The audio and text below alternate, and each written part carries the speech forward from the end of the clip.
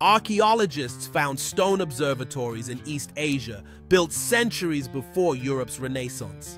The Gaocheng Astronomical Observatory, constructed in 1276 in present-day Dengfeng, China, stands as a meticulously planned structure for tracking celestial bodies. Documents from the era detail how astronomers like Guo Shoujing used its 12-meter stone gnomon to measure the solar year with remarkable accuracy, calculating it to 365.2425 days, matching modern values. Evidence suggests something more systematic, a network of observatories stretching from Kaifeng to Nanjing, allowing for coordinated star mapping.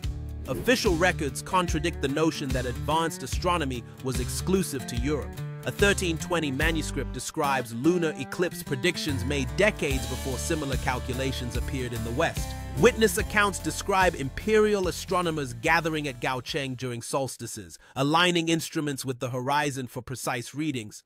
Yet, political shifts led to the suppression of these achievements as later regimes erased references in official histories. The aftermath revealed a legacy that influenced timekeeping and navigation across Asia. These accounts shape our present, subscribe to understand historical connections.